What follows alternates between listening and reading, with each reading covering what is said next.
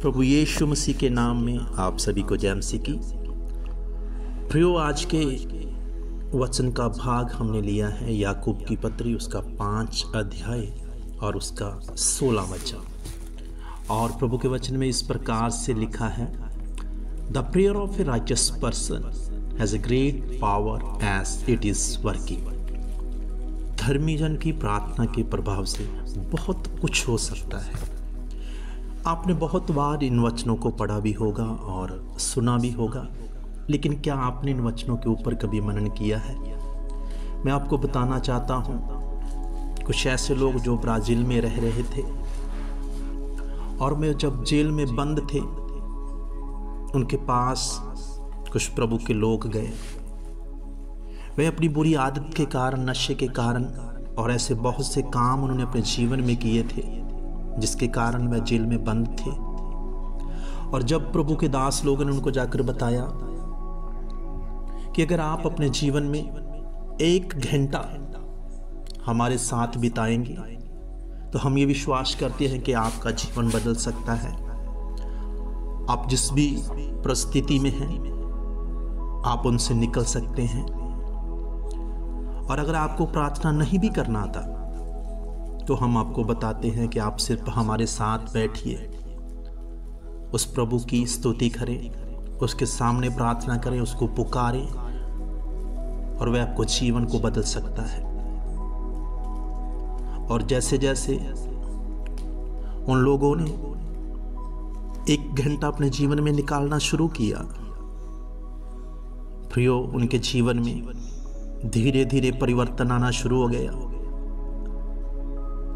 सबसे पहले एक, दो, तीन, चार, ऐसे ऐसे कितने लोग जो दिन भर में घुटनों के बल आकर बैठ जाते थे और प्रभु को पुकारते थे, आँसू बहाते थे और उनके जीवन में बदलाव आना शुरू हो गया और धीरे धीरे उनका जीवन बदल गया और वह अपनी उस बुरी दशा से, उस परिस्थिति से निकल गए और उस प्रार्थना ने उनके जीवन को बदल दिया।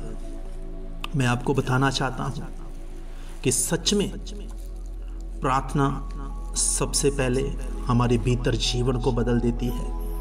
हमारे जीवन को प्रभु की ओर लेकर चलती है। और जैसे जैसे हम प्रार्थना करते हैं, हम परमेश्वर के और ज़्यादा नज़दीक जाते हैं और परमेश्वर को दिन प्रतिदिन और ज़्यादा गहराई से जानते चले जाते हैं। मेरे प्रियो अगर हम विश्वास से प्रार्थना करेंगे, अगर हम सच्चे मन से प्रार्थना करेंगे तो सच में प्रार्थना हमारे जीवन में बदलाव लेकर आ सकती है। और जब हम इतिहास में देखते हैं, हम प्रभु के वचन में देखते हैं, कितनी ऐसी प्रार्थना, कितनी बार प्रभु के लोगों ने प्रार्थना किया और उस प्रार्थना ने उनके जीवन को, उनकी उस परिस्थिति को बदल दिया। मैं आपको बताना चाहता हूँ, जब मैं भी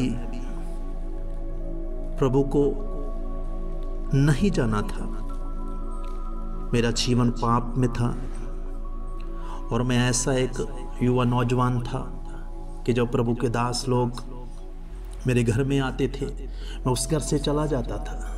मैं वचन सुनना पसंद नहीं करता था।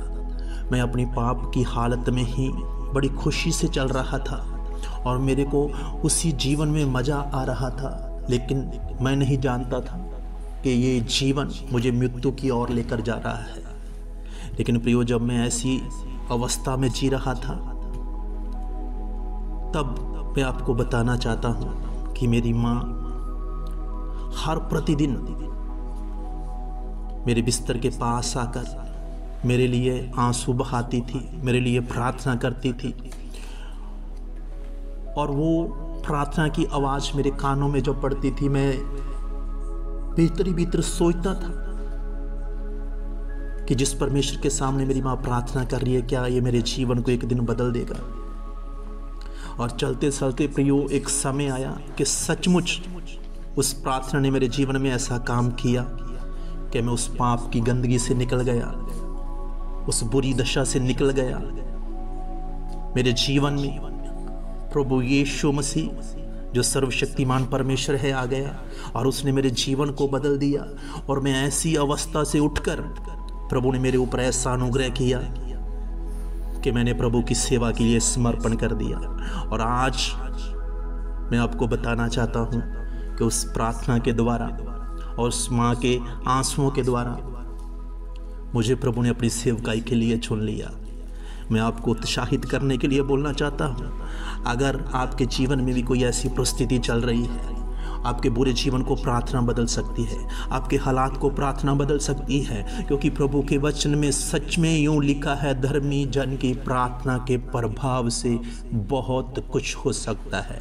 अगर आप अपने जीवन में प्रार्थना नहीं कर रहे तो मैं चाहता हूँ कि इन दिनों में आप प्रार्थना करें, विश्वास से प्रार्थना करें और प्रभु के काम को अपने जीवन में आप देखें। आइए हम प्रार्थना करेंगे।